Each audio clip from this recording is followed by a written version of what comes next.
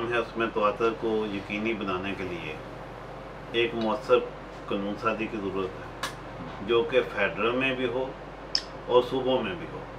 اور ایک ہی نظام چاروں صوبوں میں رائج کرنا چاہیے۔ یہ نہیں کہ ایک صوبے میں اور ہو، دوسرے میں کوئی دوسرا نظام چل رہا ہو۔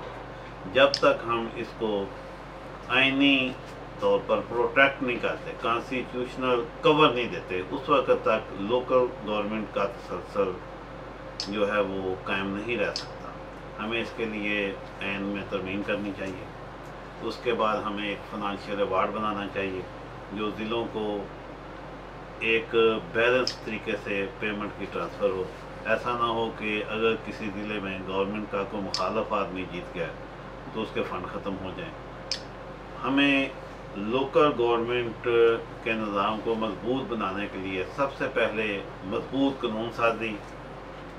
کے ذریعے اس کو کور دینا ہوگا ورنہ یہ نہیں ہے کہ ابھی الیکشن ہو کوئی اور گورنمنٹ آئے اور آتے ہی وہ پہلی فرصت میں لوکل اداروں کو ختم کر دیں اس سے ہمیں بچنا ہوگا۔ یعنی اس کو آئینی تحفظ ملنا چاہیے۔